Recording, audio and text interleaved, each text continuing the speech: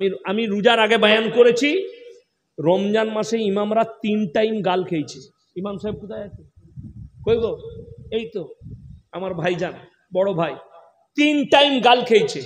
একটা হচ্ছে মগরবন নামাজে। কখন বললাম? মগরিবের নামাজে।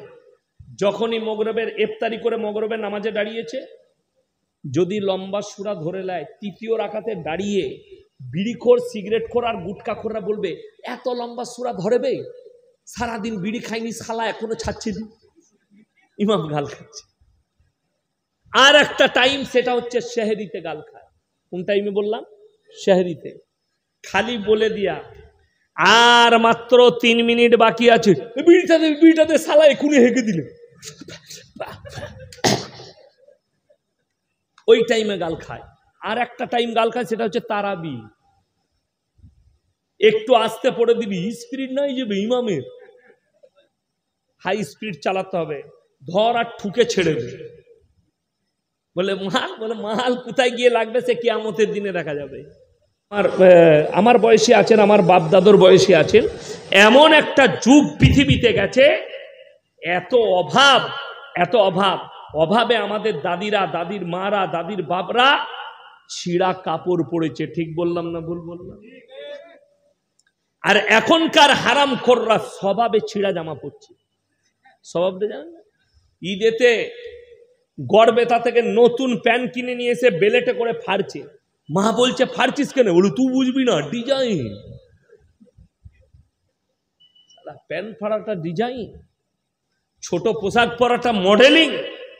হে আমার মায়েরা, যুবতীরা শোনো, যদি ছোট পোশাক পরাটা আর ছোট্ট ছোট্ট কাপড় পরাটা যদি মডেলিং হয়, তো এইটা গড়বেতা থানা তো? এই গোয়ালতোর থানা, গোয়ালতোর থানায় সব থেকে বড় মডেলিং হচ্ছে তোমাদের গোয়ালতোরের যতগুলো কুত্তা আছে। কুকুরে কাপড় পরে? কথা বলে না? ছাগলে কাপড় পরে? পড়ে না! তাইলে ওই জানোয়ার আর তোর মধ্যে পার্থক্য হচ্ছে তোমার শরীর ঢাকা তার শরীর খোলা। আমি এটা আজকে প্রুফ করে যাব। যারা মনে করছেন, ওরা চার পায়া জন্তু আর আমরা মানুষ, এটাই পার্থক্য না। এটা পার্থক্য নয়, ভুল। এটা ভুল। একটা মানুষের আল্লাহ চাইলে চারটা পা দিতে পারে না পারে না বাবা? দিতে পারে। দুটো মাথা দিতে পারে না পারে না। পারে। মানুষের, অনেক মানুষ এরকম পৃথিবীতে গুজরে গেছে, যাদের ন্যাজু বেরিয়েছে। ঠিক কিনা? আমার আব্বাজি বলেন যে আমার গ্রামে এমন একজন বীর পুরুষ ছিল, মরদের মতো, বিরাট মরদ। তার বলছে, ছোট ন্যাস ছিল। আল্লাহ দিয়েছে। তো আপনাকে এই চিন্তাধারা আপনি উড়িয়ে দেন যে ছোট পোশাক পরার নাম মডেলিং। তো সব থেকে বড় মডেলিং হচ্ছে তোর ঘরের কুত্তাটা, যে কাপড়ই পরে না। আর মডেলিং এর যুগ তো ওইটা। রসুল সাল্লাহ সাল্লাম নারীদিকে ঢাকার একটা অনুমতি দিলেন ওয়াদরিব খুমুরহিন না আলা জুনুবিহীন। নারী পর্দা নির্ধারিত করো, কোনোদিন ধর্ষিত হবে না, লাঞ্ছিত হবে না। চলুন, আপনাদিকে বুঝাই। প্রত্যেকটা মুসলমান নরনারীর জন্য দিনই ইলিম হাসিল করা কি? কথা বলে না? ফরজ। এইটা আপনি বিশ্বাস করলেন ফরজ। এই ফরজটা যখন আপনি মেনে নিলেন, সমীক্ষা করুন। এই গ্রামে এবং এখানে এই গোয়ালতোর থানায় কত পার্সেন্ট মুসলিম? তাদের মধ্যে দিনই ইলিম আছে। হিসেব করলে নাইনটি ফাইভ পার্সেন্ট মুসলমানের কাছেও দিনই ইলিম নাই। ঠিক বললাম না ভুল বললাম? হ্যাঁ। দিনই ইলমের কি প্রয়োজন? যারা মনে করছেন দিনই ইলমের কি প্রয়োজন? তাদেরকে বলে দিই। এটাকে ফরজ কেন বলা হয়েছে? জানো, কোন রকমের বিপদ আর পাপ যেন আপনাকে অ্যাটাক করতে না পারে। দিনই ইলিম মানে আলেম হতে হবে, হাফেজ হতে হবে মন্না মুক্তি মুহাদ্দিস হতে হবে না। দিনই ইলমের অর্থ হচ্ছে, অতটা ইলিম হাসিল করো, যতটা করলে দিন আর বদ্দিন চিনতে পারো হারাম আর হালাল চিনতে পারো বেইমান আর কুফরি চিনতে পারো আপনাকে বেইমান কাফেররা ইহুদিরা যে জালটা ছুটছে সেই জালটা যেন তুমি তোমার চোখে দেখতে পারো। মুসলমানরা হারাম হালাল কি বুঝেছে বলে দিই? মুসলমানদের যুবক লড়ি চালায়, হোটেলে দাঁড়িয়েছে, ঢুকেই বলছে, এক বোতল মদ দে ভাই। মদ খেয়ে নিলে। এরপরে বলছে, ভাই, রুটি আর মুরগির মাংস নিয়ে। সে বেটালা হোটেলের কর্মচারী রুটি আর মুরগি কষা এনেছে। যাতে মাতাল হলে কি হবে? তাল তো ঠিক আছে। ভাই, মুরগিটা জবাই না কাটা, আর মার হারাম করকে জুতো করে। যে লোকটা মদ খেলো, তার আর কাটা কুটা দেখে লাভ আছে? বড় কষ্ট লাগে। মুসলমান মনে করছে, মদটা খাওয়া চলবে, কিন্তু মুরগিটা জবাই খেতে হবে। কেন? এর কাছে দিনই ইলিম না থাকার কারণে ও এটাকে হালাল ভেবে নিয়েছে আর ওটাকে হারাম ভেবে নিয়েছে। আপনারা মনে করছেন, আজকে হয়তো আমার পরে বাংলাদেশের বক্তা আসবেন, তিনি শেষ দোয়া করবেন। তিনি কেন? কাবা ঘরের ইমাম যদি শেষ দোয়া করে, দোয়া কবুলিয়াতের প্রথম শর্ত হচ্ছে হালাল খাবার। কি খাবার বললাম? হালাল খাবার। তবে তোমার দোয়া কবুল হবে। তা না হলে তুমি যতই কাঁদো। এই যে দেখে দোয়া কবুল কি করে হবে বলে দিই। রমজান মাসে মসজিদে ভিড় ছিল না ছিল না। কথা বলে না? এখন কিন্তু ওই মাল কটাকে আর খুঁজে পাওয়া যাচ্ছে না। ঠিক বললাম না ভুল বললাম? ওই মাল কটা আর নাই, খুঁজে পাওয়া যাচ্ছে না। এরপর বলুন, তাদের দোয়া কি করে রমজান মাসে কবুল হয়েছে এটা কি করে গ্যারেন্টি দিবেন? সে তো খালি ইন্তজার করেছে, আল্লাহ, তিরিশটা রোজা খালি হোক। তারপর থেকে দেখে নেব গাঁজাও টানবো বিড়িও টানবো এই দোয়া তো করেছে মসজিদে বসে বসেও আমার মুসলমান ভাই, আপনি বলছেন দিনই ইলিম হাসিল করব। ইসলামের শর্ত হচ্ছে হালাল খাবার। আপনি যদি সকালবেলায় উঠে গোয়ালতর যান, সকালবেলায় উঠে যদি গড়বেতা যান, সকালবেলায় উঠে যদি মেদিনীপুর টাউনে যান, আর কোনো অপরিচিত হোটেলে খেতে যান, আপনাকে জিজ্ঞেস করতে হবে না হবে না, মুরগিটা জবাই না কাটা। কথা বলেন। জিজ্ঞেস করতে হবে, মুরগিটা জবাই না কাটা? কেন? মুসলমানের জন্য শর্ত হচ্ছে হালাল খাবার। আর জবাইটা হালাল না হালাল নয়? হালাল। গরুটা জবাই কিনা, খাসিটা জবাই কিনা, মুরগিটা জবাহ কিনা? আপনাকে শর্ত এটা।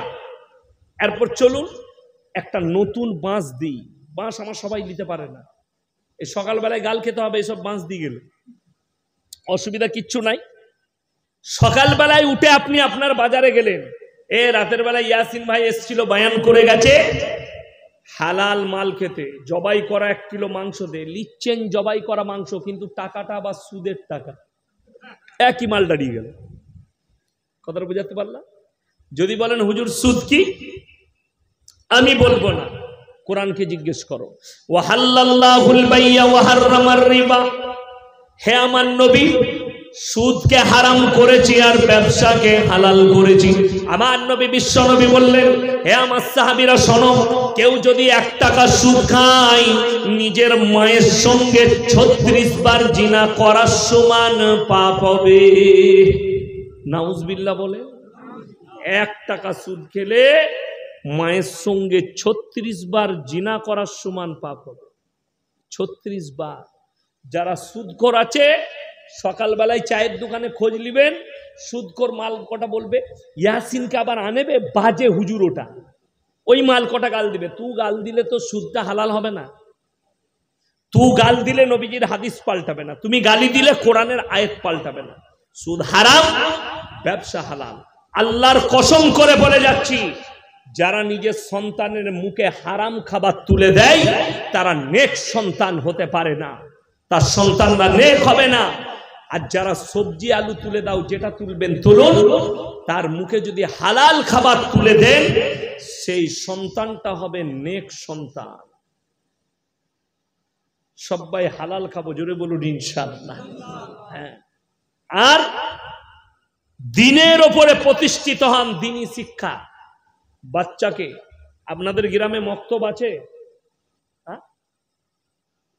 মক্তবে গুরুত্ব দেন বাচ্চাদিকে। কিন্তু ইমাম সাহেব কেন বলল বলুন তো? আস্তে করে আছে। মানে ইমামকে যা বেতন দিচ্ছেন, অতি মালকে পড়াতে হবে, তার বেশি দিবেন না। ঠিক বললাম না ভুল বললাম? হ্যাঁ। স্কুলে টিউশন মাস্টার ইংরেজি পড়াবে, দুশো টাকা, মাসে পাঁচশো টাকা। আবার আর একজন পড়াবে, অঙ্ক পড়াবে, তার পাঁচশো টাকা। সায়েন্সের মাস্টারকে তিনশো টাকা। আর ইমাম সাহেব তোমার ছেলেকে পৃথিবীর শ্রেষ্ঠ কিতাবের তালিম দিবে দশ টাকা। হ্যাঁ? আমাকে একজন এসে জিজ্ঞেস করছে মাদ্রাসার শিক্ষকরা মক্তবে পড়াতে যায়? আমরা হ্যাঁ যাই। বলে আমার ছেলেটা দশ বছর পড়ছে এখনও আলিফ বা আসা হয় না। আমরা ক টাকা দিস? টাকা দিই না তো। আমরা ওর ওর যদি বিয়ে হয়ে বুড়ি যায় তাও হবে না বে। ও তো রোজ আসবে আর বলব আলিফ বা তাসা যাবে ঘর যা আলিফ বা তাসা যা চল যা রোজ ওইটাই চলবে আমরা খুশি করে ইমামকে তিনশো টাকা পাঁচশো টাকা দিয়েছ মাসে পঞ্চাশ টাকা দিয়েছ যদি পঞ্চাশটা ছেলে পড়ে ইমামের কাছে পঞ্চাশ করে দিলে পাঁচ পাঁচা পঁচিশশো ঠিক কি না তোমার ছেলে তিন মাসে কোরআন ধরবে আর যে মনে করছে ফ্রি পড়াবে তোর বেটার বিয়ে হয়ে গেলেও বিয়ে হয়ে বুড়ি যাবে কোরআন শিখতে পারবে না কেন? তুমি ফ্রি মাল চালাতে চাইছো। অনেকজন মনে মনে করবেন, দিনই শিক্ষা দিবার জন্য কি পয়সার প্রয়োজন? দিনের খিদমত করার জন্য পয়সার প্রয়োজন? এরকম একটা বাপের বেটা যদি এই গ্রামে এই মজমাই থাকে, খালি হাত তুলে বলেন, আমার মাদ্রাসায় দুশো জন, আড়াইশো জন ছাত্র খাচ্ছে, এক মাস খালি ফ্রি এনে দিবেন, এক টাকাও দেবো না, দুবেলা খাবার দেবো। ফ্রি এনে দিয়ে আসবেন বড় দিনের খিদমত। আচ্ছা মাদ্রাসা তালবিলিমদিকে খাওয়ানো দিনের খিদমত না খিদমত লয় বাবা? খিদমত? তাহলে তুমি এক মাস ফ্রি খালি খাইয়ে দাও। তোমার মক্তবে আমি দু মাস ফ্রি পড়িয়ে দেবো যাও। তুমি এক মাস ফ্রি কাজ করে রান্না করে খাইয়ে দাও। হ্যাঁ দশ দিন পরে লুঙ্গি খুলে আন্ডার প্যান্ট পরে দামোদারের নদী পেরিয়ে ছুটবেন গড় ব্যথার দিকে। এখানে থাকবে বিনা পয়সা এবার কেউ কাজ করে। আচ্ছা ইমামতি আমি বিনা পয়সায় করব। বিনা পয়সায় ইমাম পাওয়া যাবে, কিন্তু হিজড়ে ইমাম রাখতে হবে। ছেলে পিলের কোনো সিস্টেম নাই হিজড়ে। খালি পেটে ভাতে খাওয়াবেন, আপনার মসজিদে নামাজ পড়াবে, কোনো ব্যাপার নাই। হিজড়ে হিজড়ে ইমামের পেছনে নামাজ হবে কিনা মুক্তির কাছে ফতোয়া দিবে বড় কষ্ট লাগে।